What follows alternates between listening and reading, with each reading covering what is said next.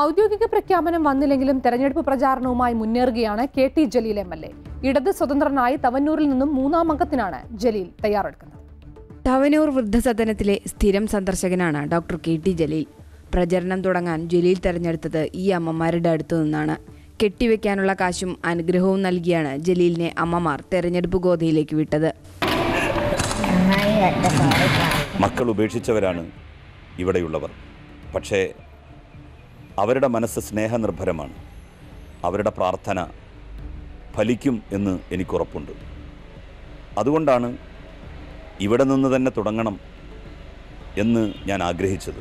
മണ്ഡലത്തിലെ കല്യാണങ്ങളിലൊക്കെ പറ്റുമെങ്കിൽ പങ്കെടുക്കുന്നയാളാണ് ജലീൽ. തെരഞ്ഞെടുപ്പായതോടെ ഒരുപാട് പേരെ ഒന്നിച്ചു കാണുന്ന കല്യാണവേദികളിൽ ഒന്നുകൂടി സജീവം.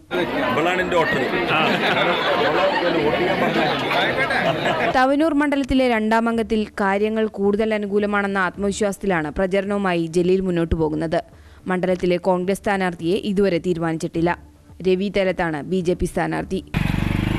ഏഷ്യാനെറ്റ് ന്യൂസ് തിരൂർ.